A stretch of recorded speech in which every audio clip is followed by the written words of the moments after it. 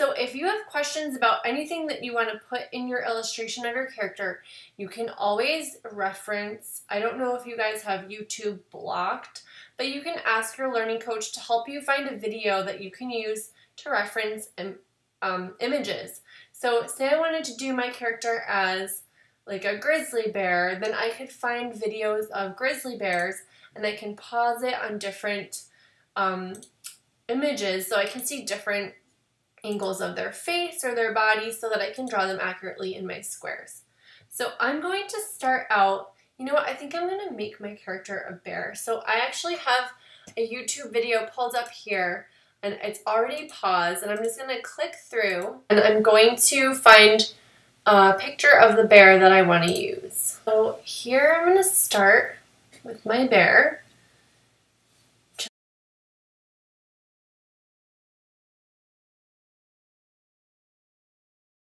So that's one angle. And keep going till I see another angle of him. Oh, here is from the side. So that's helpful.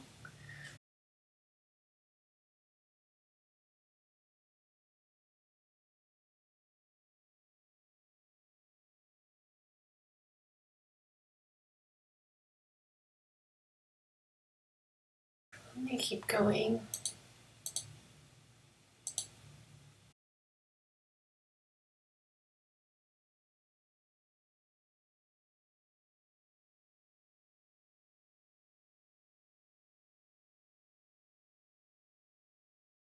So now I have my four bear perspectives drawn and to make it look like the same character in each picture, I'm going to give him some accessories so some human clothing.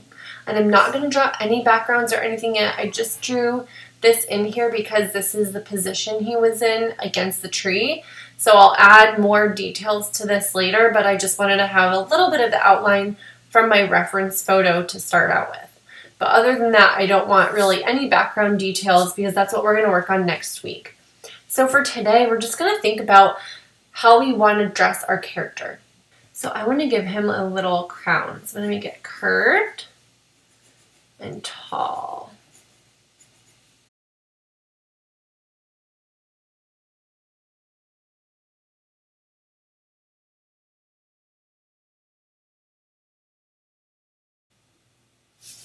I'll add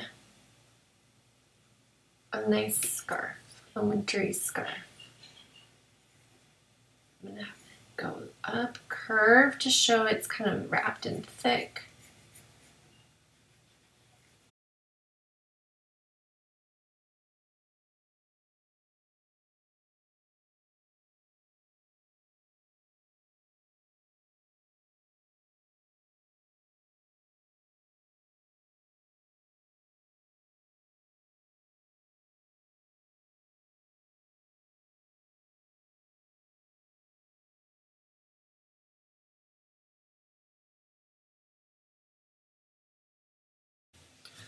So now I've got my scarf and my hat, my crown on my bear. So then I can go back and add little details if I need to, but focusing on your character's details. No colors yet. If it helps, you can record the pictures that you used for your references, and I'm going to show you how to do that in just a second. Okay, so say that you want to draw this monkey at this angle and you want to screenshot this. Oops. You want to screenshot that so then you can use it to draw and maybe you want to save it so that you can look at it next week when you're doing the backgrounds and adding colors and stuff. So what you want to do is you're going to go in this bottom left corner where it says type here to search and you're going to search for snip and it should come up. SNIP, and it shows you snip and sketch. You could use either the snipping tool or snip and sketch. Either of them work exactly the same way. So I'm going to click snip and sketch, and I'm going to click new. Once I do that, my screen turns gray, and see this little crosshair, that little plus sign? I'm going to go to the top left of the picture I want to take a picture of, and click and hold the mouse down and drag my finger so that it goes, or drag my index finger while I'm holding it down with my thumb. I'm going to select the whole screen that I want to take a picture of. Once I do that, it should come up in a new screen. Here it goes. And then I'm going to save this. If it doesn't come out right the first time, you can just click new and do it again. So I'm just gonna save it to my desktop so I can find it easily. And I'm gonna retitle it, oh my goodness, monkey one. Okay, and then I'll number them one, two, three, and four. So then I'm going to keep this in the background and this is still on pause. I'm gonna slide this or you can play and pause it again until you find this is the next picture that you want to pause it on. Here we go. So I'll just press play and I can pause it. There you go. There's another view. So now I'll go back to my snipping tool window, click new, and it'll do the same thing again. So then I can take a screen grab of that picture. So I just click it with my thumb and hold my thumb down. And then I slide the mouse to the right and then click it. If you're using a mouse, you just hold the mouse down and drag it. I'm using the trackpad. So now I've got that one. So now I can save that by clicking up here on the floppy disk, or you can press the Control S keys together. So hold the Control key down and then press S, and that will also bring up the screen where you save it. I'm gonna click desktop, so that's where it saves, and then I'll click, oops, monkey two. So I'll go back here to my video, press play. So I didn't get a back view of him. So I could try to imagine what it would look like, or I could try to find another reference video. You're welcome to use your imagination too and try to be creative. So here's how I did, that's how I did the two screen grabs. So just to clarify, you can also, once you search for it, type in snip, and then you'll see snip and sketch. When this window comes up, if you go over here and click on that little, um, almost like a V caret, click on that, and then it will say, instead of unpin, because I have it right here in my taskbar, it'll say pin to taskbar, and then it'll always be right down here. So you want to pin to taskbar and then you'll click that. And then instead of having to search it in the bottom left right here, it'll just be right here. So if I click out of that, you know, if I close this, you'll see that little icon with the scissors in the circle. So that's how I open it now. So I could just do click new and then it's right there when I want it. So you guys can use this as a tool for a whole bunch of things, taking notes or anything that you want to take a screenshot of, and then you can save it to your desktop. So now you can see I've got monkey one up here, monkey two over here. You can make a folder for it, or you can just have them right on your desktop until you're done with your project. So that's that.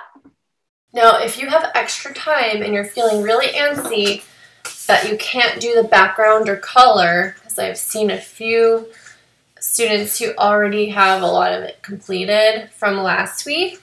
So I know that you guys sometimes are really anxious to finish your project. So since we didn't, we're not going over the backgrounds and the coloring today, what I'm gonna say is choose one and draw it big on another piece of paper.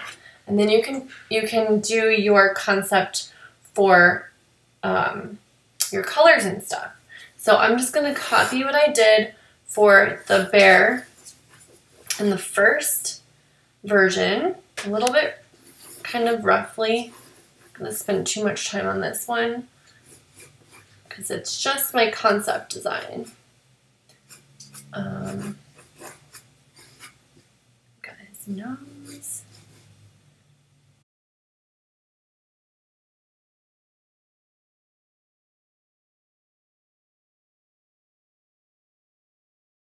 So this is a really rough sketch and you can't really see my colors that well. So now I can kind of plan better what colors I want to use. Like, do I want to try something brighter? Or did I really want it to be pink? I really wanted it to be more of like a taupe color. So maybe that. So you can just test out your colors and just kind of practice first so that you kind of have a plan of how to color your drawings next week. And you can also use paints. You don't have to use crayons. So this could just be kind of a test sheet to help you visualize and you can even think about like what colors might be nice to see in the background. So if you're really anxious about completing this, leave this as is, and you can do something like this just on a side piece of paper. The other thing you're allowed to do, if you would like to, is if you have a skinny permanent marker and you'd like to outline it, you may do so.